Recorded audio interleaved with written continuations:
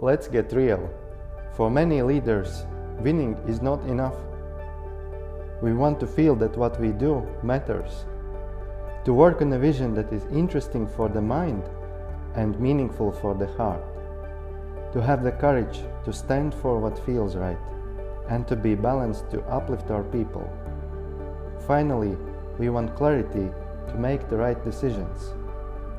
I'm Farhad, the CEO of Cocoon, and our purpose is to support you, leaders who want to make a positive impact and grow your personal power. Discover your potential. Come to Cocoon area and talk with our mentors today.